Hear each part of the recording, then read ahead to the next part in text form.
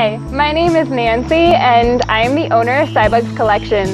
I am an entomologist, which means that I study bugs, and I am stationed in the Maquipucuna Reserve, which is located about two hours outside of the capital city Quito in Ecuador.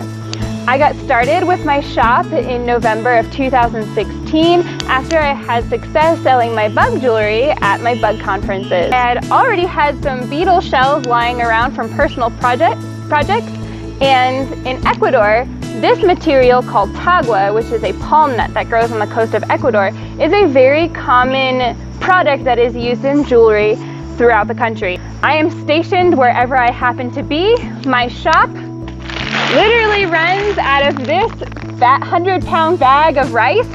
So whenever I travel, my shop goes with me as well. I start my jewelry process by picking two colors of tagua, one for the background and one for the foreground.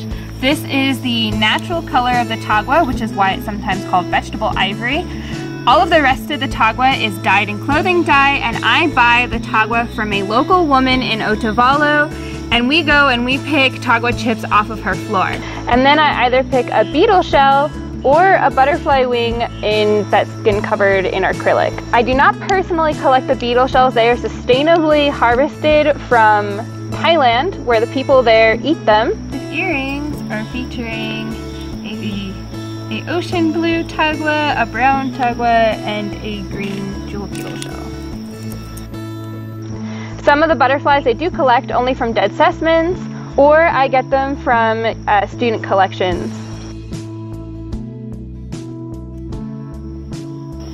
This necklace is featuring a purple tagua nut, a periwinkle tagua nut, and an owl butterfly wing.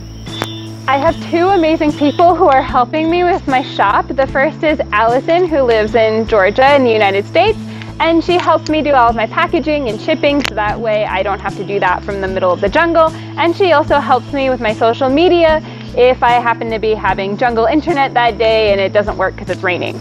The other person who helps me out a lot is Carlos and he takes all of my pictures, he does videography for me, and he travels with me to Otavalo and carries all of the heavy tagua around and helps me out that way.